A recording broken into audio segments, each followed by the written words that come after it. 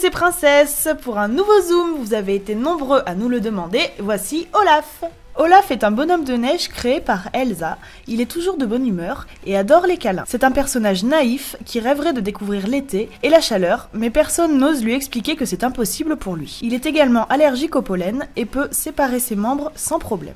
À l'origine, il devait faire partie de l'armée des bonhommes de neige protégeant le château d'Elsa lorsque le projet était toujours d'actualité. Les producteurs ont également déclaré qu'il aurait été la crêpe ratée, car c'était le premier bonhomme de neige créé par Elsa et que les premières crêpes sont toujours ratées. Mais en annulant ce projet, ils ont décidé de quand même garder Olaf pour en faire la deuxième mascotte du film après Sven. Même s'il ne semble pas très important dans le film, c'est en partie lui qui a sauvé Anna en la trouvant presque morte et en allumant un feu pour la garder en vie le plus longtemps possible, alors qu'il aurait pu en fondre. C'est aussi Olaf qui a fait comprendre que le véritable amour, c'est de faire passer les intérêts des autres avant les siens, comme l'avait fait Christophe pour elle. Elsa lui permet ensuite de ne pas fondre en faisant apparaître un petit nuage de neige au-dessus de lui. Contrairement aux autres personnages du film, Olaf n'est pas inspiré d'un personnage de conte original de la Reine des Neiges, mais d'un autre conte d'Andersen, sorti en 1861, Snimanden, soit le bonhomme de neige en français. Dans cette histoire, le héros est un bonhomme de neige qui tombe amoureux d'un fourneau.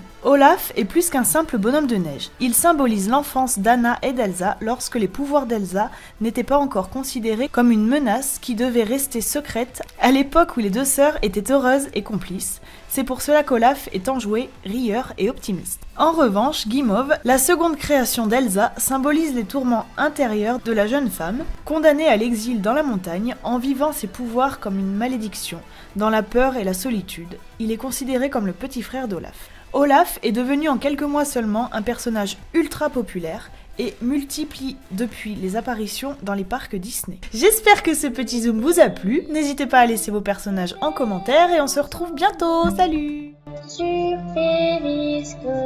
Snapchat, Facebook, noble paysan, suivez-moi, venez sur le bouton s'abonner.